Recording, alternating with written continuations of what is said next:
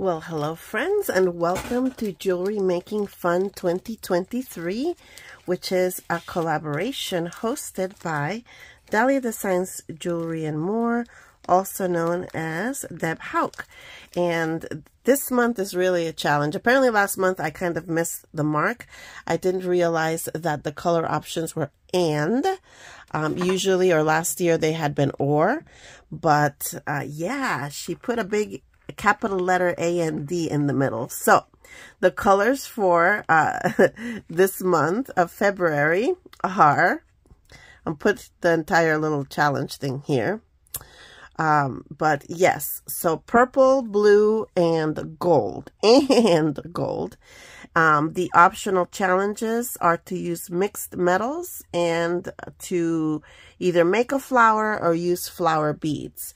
So I am not doing any of the options. I am keeping it super simple because honestly, I spent so much time just looking through my stash for the beads that I just need to, you know, get going.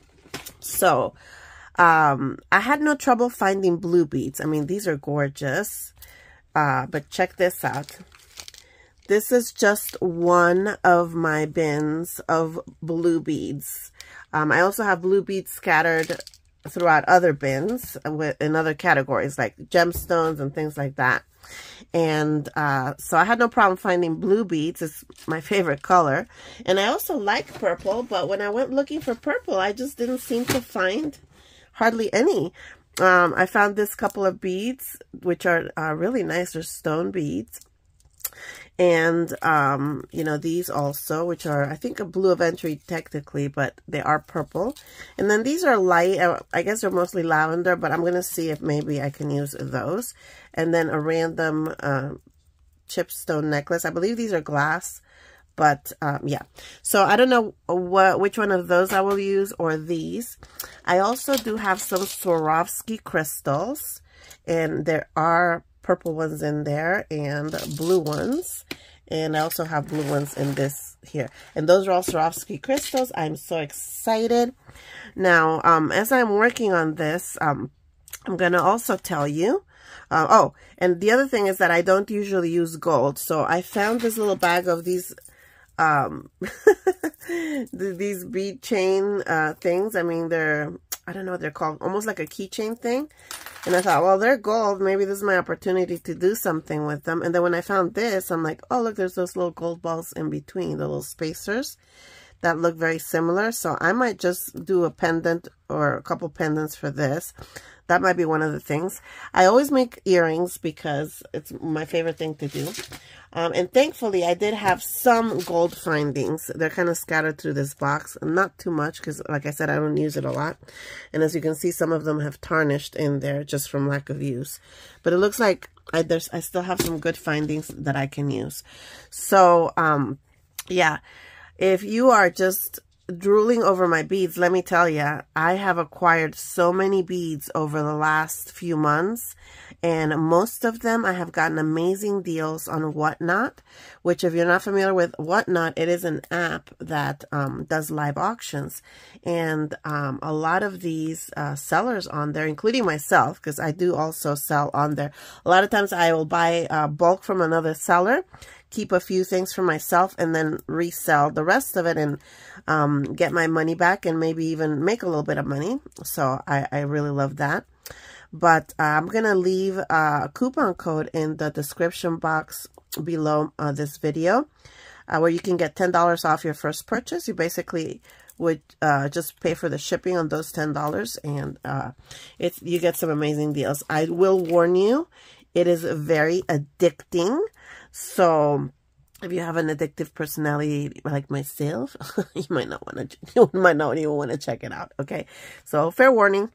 Um, so yeah, amazing deals. Actually, there was just a beadathon this past Thursday where they had back-to-back -back sellers, um, you know, selling beads. And oh my goodness, there were amazing deals. I can't wait to get the things I ordered from that sale, including some Swarovskis. Oh my goodness, it was crazy. So there you go. Um, so sorry for being an enabler on that, but I'm having so much fun on there. um, buying and selling that uh, I, I, just have to share it. So, but enough of that. Um, if you want to know more about it, and if you want to consider selling on there, definitely let me know because I can also send you a link for that. Actually, I will include that also in the description box. So I'm going to start with this easy thing. I was thinking of making just uh, maybe a pendant or two. Um, so maybe, see, this was larger than this one. So it would be a nice stacking thing. So, and I don't know if this goes well with it. Maybe I can use blue spacers.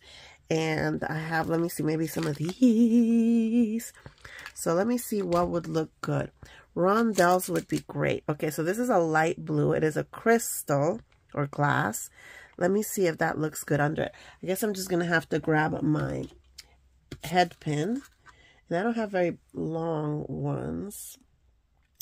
Don't have a lot of charms either in the gold because again, I, I don't I don't keep them. I don't use them as much. But um, I am also going to start selling my jewelry again. I hadn't done that in years. I hadn't tried to sell my jewelry since um, for years now because I really did never did very well like in the craft shows. There's always so much competition. Or maybe I was just picking the wrong craft shows. But um, I just, you know, had not. I've just been beading just for myself for fun. And um, this collaboration and of course not getting hooked on whatnot is kind of helping me to try to want to get back into beading. So uh, let's see. Do we have another? I do have some more, but I don't know if it's smaller than that. What do you think of that? That is not too bad, but I think I would prefer a darker blue in there. Let's see. Ooh, there's these little cubes. Now, these are just crystals. They're not Swarovski or anything. But let's see. So I guess I'm going to play around a little bit with uh, my placement of the beads and things like that. And then come back and show you what I came up with. Oh my goodness. I am in love with this color combination. Thank you so much, Deb, because I would totally have never um, put these colors together, but I love what I came up with. I kind of went crazy. I've been like beading for like an hour and, and I came up with this, which I'm like super excited. I got this much done in that time. So originally this was the pendant that I made.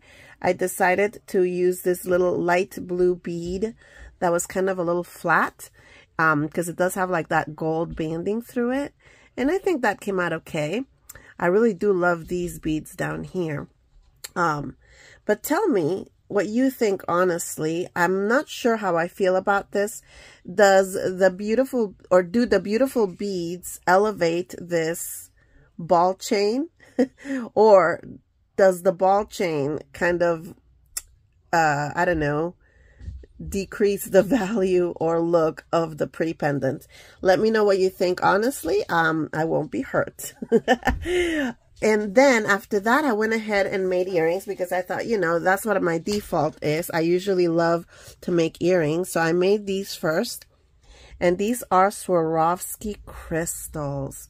The bottom one is a purple and the top one is a blue. On my hand, you can't see it as well as on the white background here. So maybe I'll set it back here and just move in closer.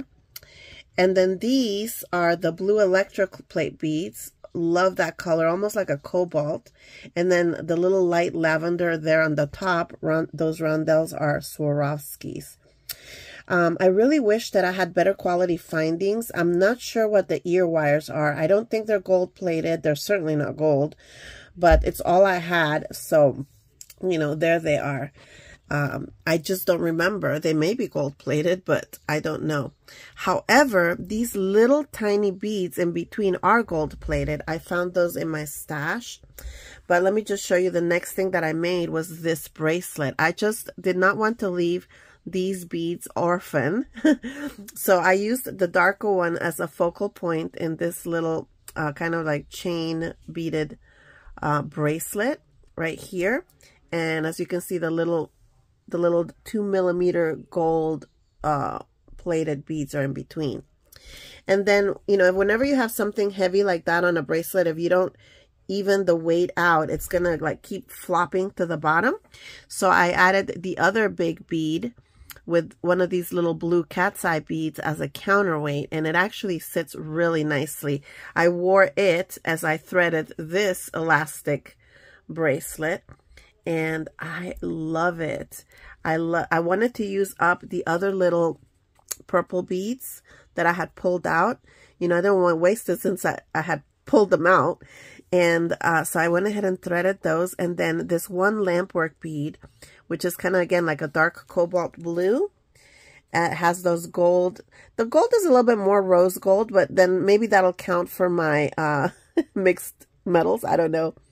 And then it's got a little bit of lavender inside on the bead. Oh my goodness, it's not focusing. I'm so sorry. There we go. Is that better? So anyway, excuse me, those are my projects for this month's challenge. I totally love this. This is why I'm so happy that I participate in this challenge because it kind of pushes me out of my comfort zone a little bit, especially now that Deb has, um, you know, made the and and uh, a must in the design. So anyway, thank you so much for watching. Let me know which was your favorite item. And please tell me your opinion on this um, pendant one right here. Thank you again for watching. I hope that you enjoyed it and definitely watch all of the participants who will be linked in my description below.